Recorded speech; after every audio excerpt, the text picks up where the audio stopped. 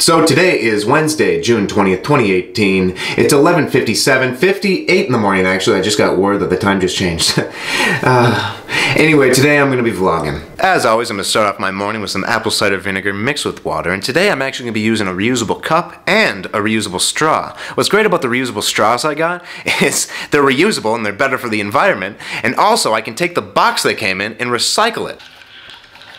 And I uh, also realized it's recycling day tomorrow, so... It was trash day this morning, so I'm just gonna bring that back in.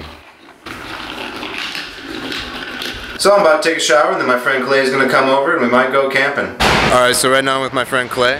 What's up, guys? And we're about to go get some uh, camping stuff. We only got two things for camping, and that was a tent and a flashlight. So I'm getting a flashlight so I can tell a scary story inside the tent. It's the main reason why I want to go camping. So after we set up the tent and started camping, we talked about stuff. Secret stuff. I tell you, but it's secret. So you're probably wondering why I really want to go camping with you. The main reason was, oh, I want to tell you a scary story. So for a moment in my life, I thought somebody was trying to kill me. I did everything I could to protect myself, but I didn't think I was doing enough. So I tried getting a knife.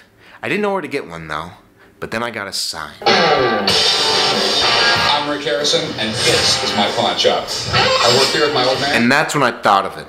I could just get a knife at a pawn shop. And my son, Big Hoss. Yes! Go get a knife. It's perfect. Alex, don't do it. You're better than this. Don't listen to the angel. He's pointing his finger at you. Hey, angel, don't you know that when you point a finger at someone, three fingers point right back at you? I'm telling you, don't fight evil with evil. It's bad news. I ended up not listening to the angel. I know, it's an angel. Like, I just saw an angel. Like, you know how rare that is to see an angel? Anyway, I went to the pawn shop and I got it. The perfect knife. Long story short, I should have listened to the angel. Because all the knife did to me was make me more paranoid. Because now I own a knife, and I couldn't get rid of the knife. I couldn't just throw it away, because if I threw it away, somebody could just find it in the garbage, stab somebody with it, and then what? The cops have my fingerprints on it because I'm the one that previously touched the knife? But guess what? I threw away the knife anyway because I was feeling risky. Yep. Pretty scary story, right? That's scary. Can I have some chips? Yeah. Um, I don't know what they are though. Can I have barbecue?